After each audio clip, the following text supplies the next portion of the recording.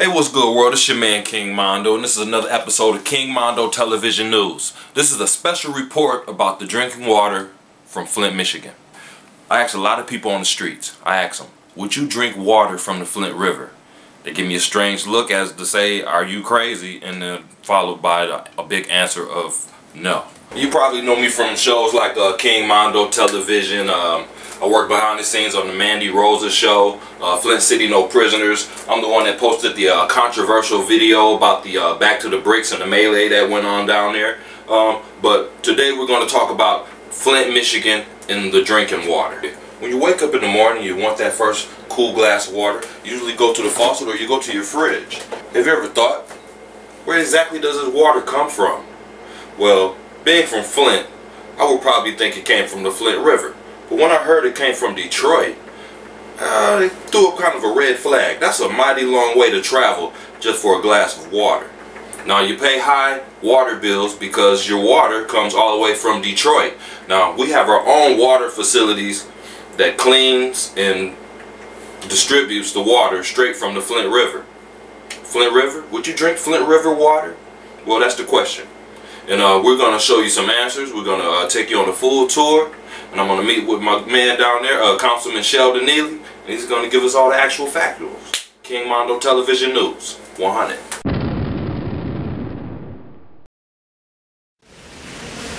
Hello, my name is Sheldon Neeley. I'm a councilman for the city of Flint. I represent the 6th Ward. Today we want to bring people to the Flint Water Drinking Plant. As you can see behind, this is Walking to Flint Water Plant Facilities. What we did today, we offered a tour for the residents so they can come and see their asset. This is an asset for the residents of the city of Flint that you pay for where every time you pay a water bill or even if you just drink water as you pass through the city of Flint, this is where the water is treated from the Flint River water. We have two sources of water inside of the city of Flint. We currently purchase our water from the city of Detroit, but we have the ability here in the city of Flint to drink the water from our river. And this is a tour today, and you're going to see how the water is processed, comes in from the Flint River, processed, clean, and then distributed. So I hope you enjoy this. I hope this is informative and educational for you because this is your asset. Be a part of your city. Be a part of knowing that you own things in this community. Enjoy.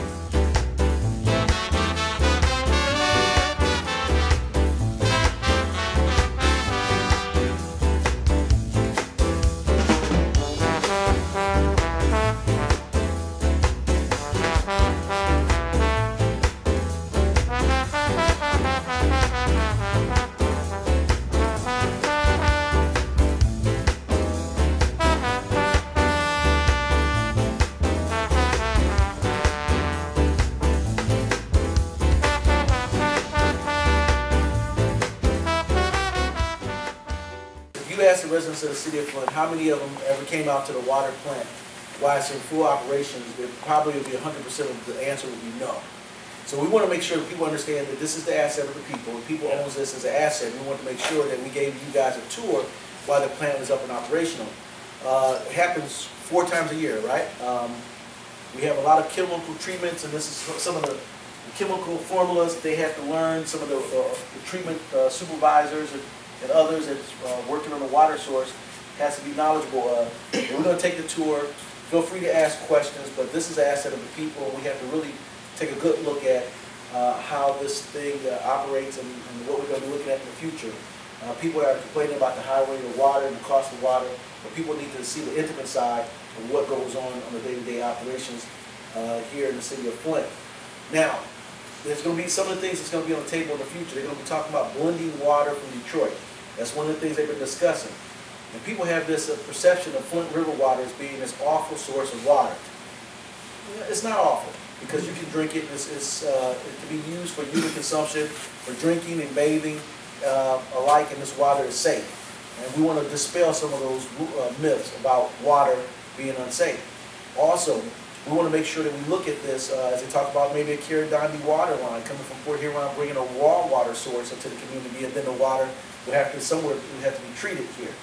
Um, and so we want to make sure we educate you guys about that. Uh, so we want to go ahead and start to. I think pretty much everybody's here today is going to come, but then we're going to have more people tomorrow. Feel free to call your friends and some family members uh, to tell them about the tour that's going to be here tomorrow at 1 o'clock. The plan is only to be operational from, it was started the 8th through the 15th, right? Is an opportunity for all the residents to see uh, our treatment facility. And uh, thank you guys for joining us and taking the tour with us.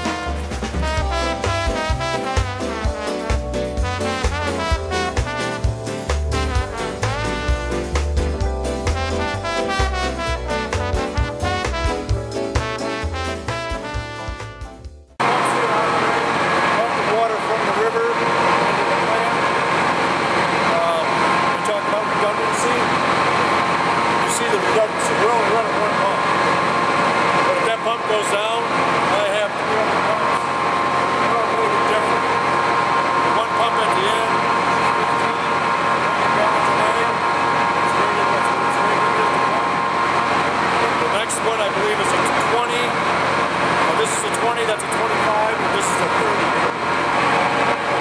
More than one pump. I have pumps, we more than one pump. I have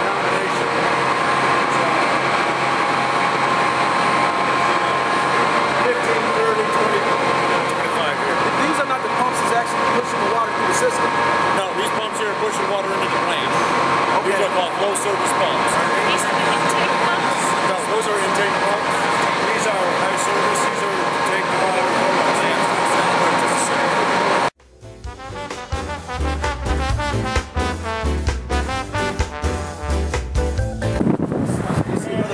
facility that we're going in now. We just came from the pumping area, looking at the pumps that pushes water out to the residents of the city of Flint, also take it in and pushes it back uh, through the whole system.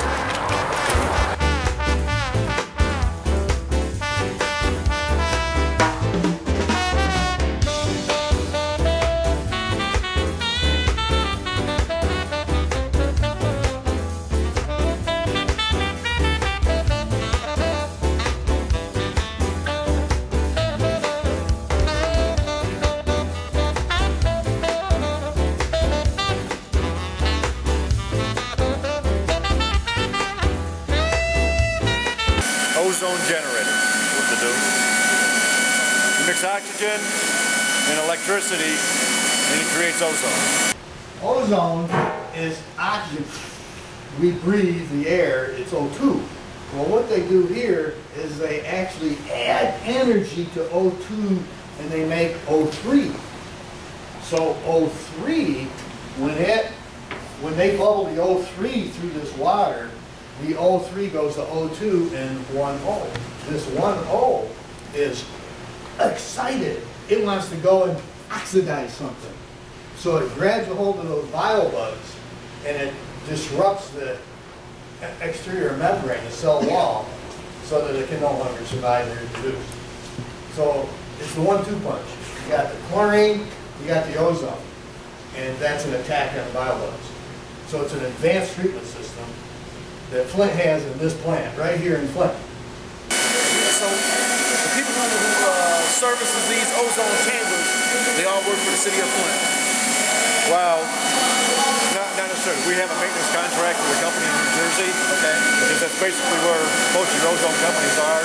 Okay. It's hard to get anybody that really knows and understands ozone. There's only there's only five plants in, in Michigan uh -huh. that, that utilize ozone at this point, and that that's, I think, uh, I want to say there's only maybe three plants back in 2006. Okay. So that's getting to be um, more the standard, especially with river We're off to another portion of the water treatment facility. Uh, we just learned a lot about the ozone and how they treat the water contaminants and how they clean our system up. So that was very informative. I'm glad that we know how they clean the Flint River water up so it can be used for consumption by everybody in the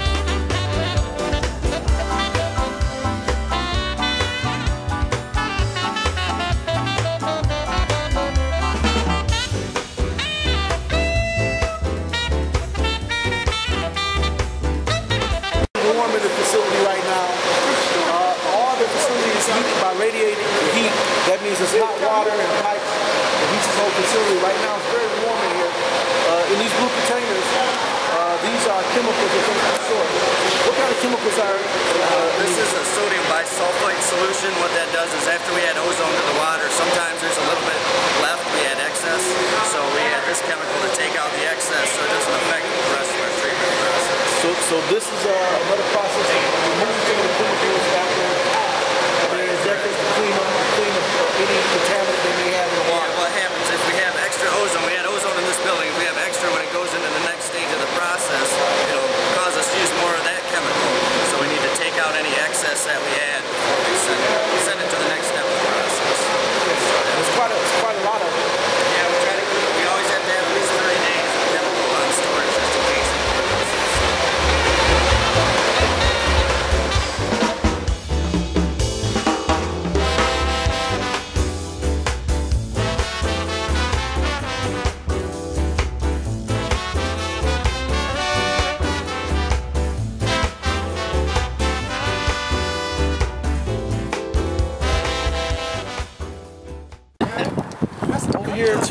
my left, these are the old old treatment facility buildings right here. You can see, they're they're not functional anymore. Uh, they've been out of service for quite some time. You can see the uh, time has worn on the buildings, and they also have been victim to scrappers as well. There used to be enough scrap metal in this building to pay for the whole demolition of it, but it's been vandalized, much like most parts of our city. And take a look at it, but structurally the building looks great, but it has been also victims to scrappers as well.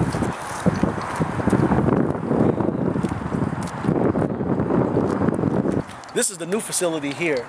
Uh, over the last few years, more than $50 million has been put into the uh, revamping of this to make it a state-of-the-art building. We have our uh, above tower here uh, to make sure that we have enough pressure to push through the system. This is a state-of-the-art building now.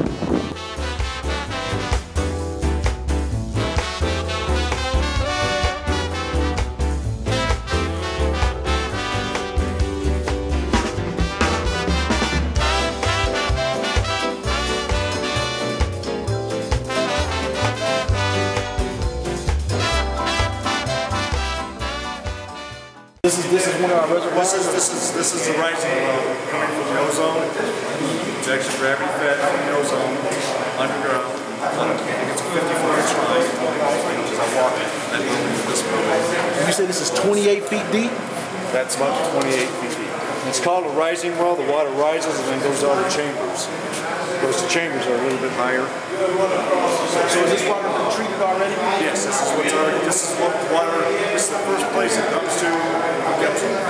So here in this chamber. The water makes them attract to each other, make them bigger. Right. And then the next process after we do that goes to a plate settler building. And that's where that that uh, those coagulants settle out, brings the water up.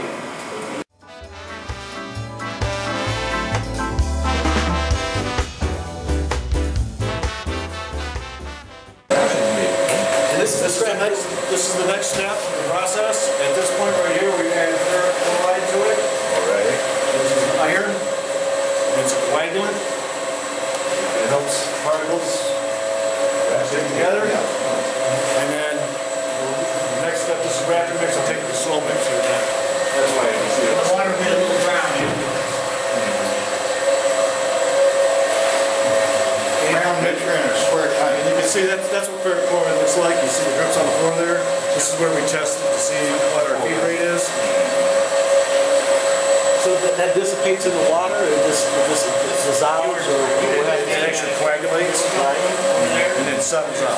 Settles to the bottom and at that point you suck it out. Open a switch off. Oh, this is for a a gate to shut this off. I can shut this side off and use that side. Okay. You know, everything, we talk about redundancy, we have east side and west side. Right now, we're running the west side of the plant. Okay. Last time we ran the plant, we ran the east side.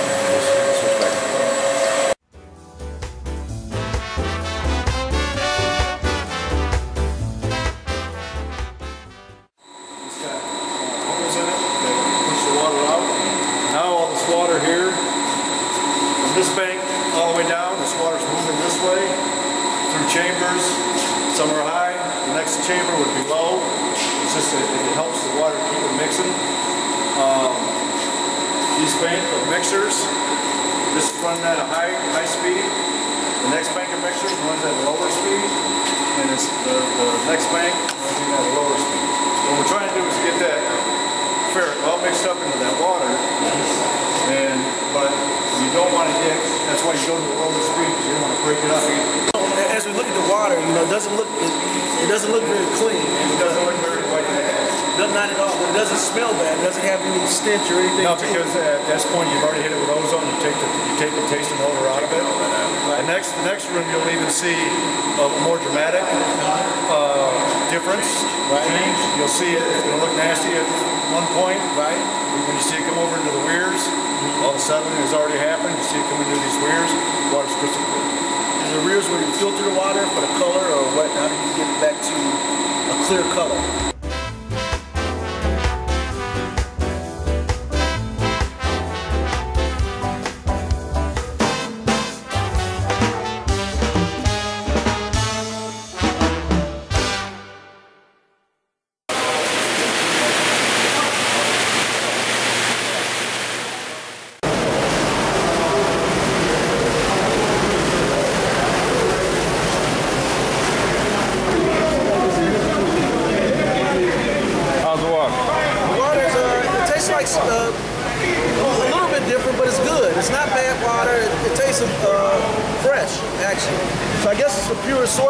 Source because this is before it goes through 20 miles of pipeline before it gets to my house. So I guess I got I got it at the, at the source rather than at the tail. Right.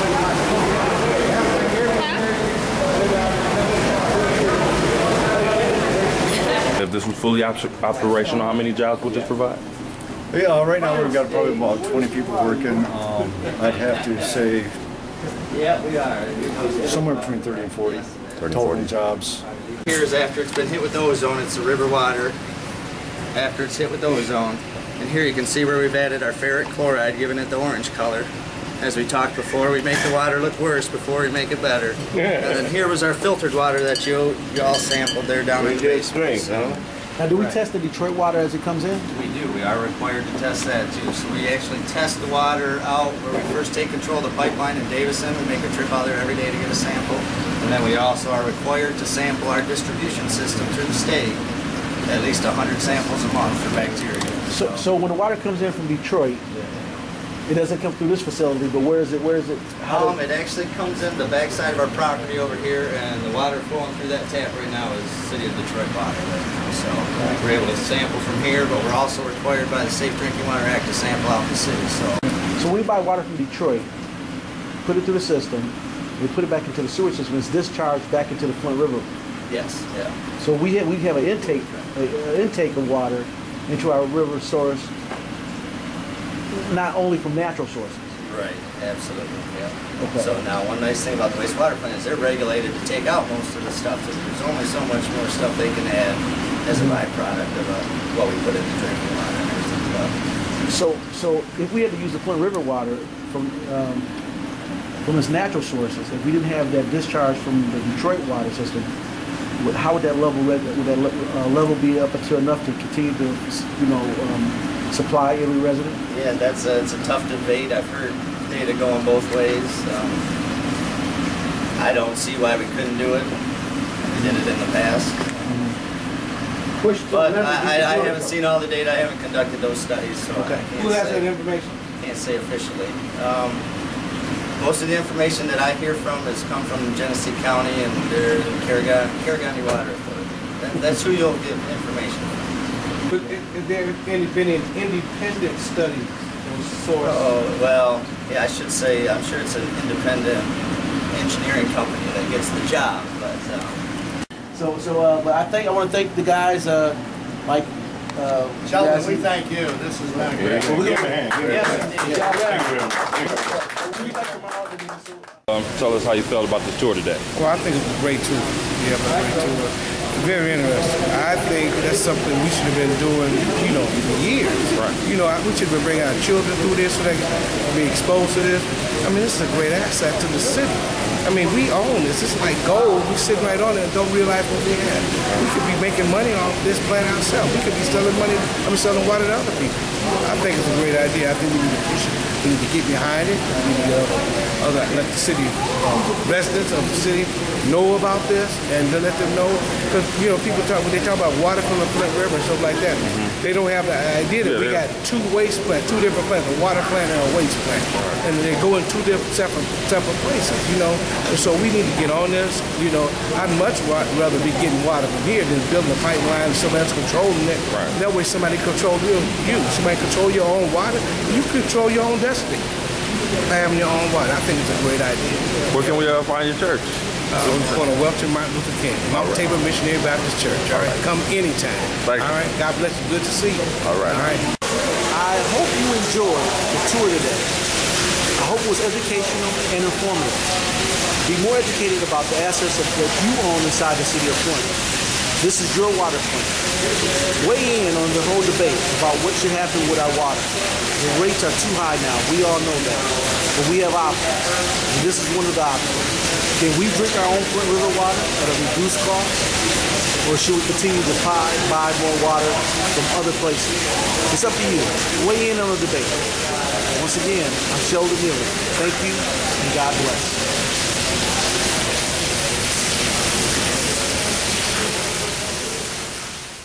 Well, that was it for today. I hope you enjoyed the show. This is King Mondo for King Mondo Television News 100.